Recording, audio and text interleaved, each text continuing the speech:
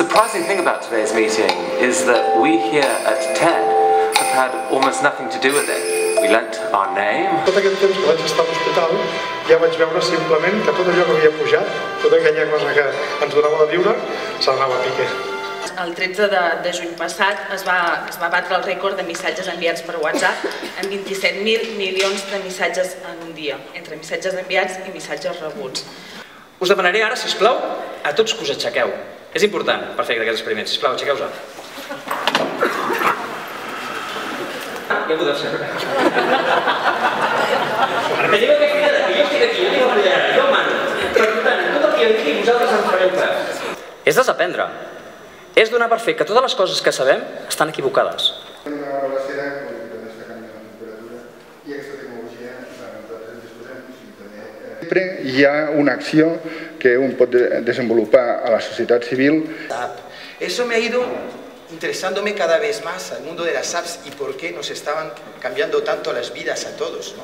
Hablábamos antes del WhatsApp y de cómo qué hubiera pasado si Julieta y Romeo hubieran tenido WhatsApp. Pues yo hoy ha- hablaré también de lo que probablemente Napoleón hubiera dicho con las apps eh, eh, y facilitarme mucho las cosas.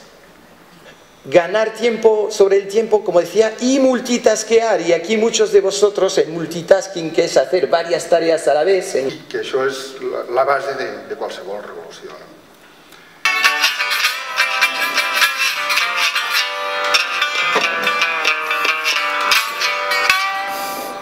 Bon dia. Jo he vingut... Gràcies.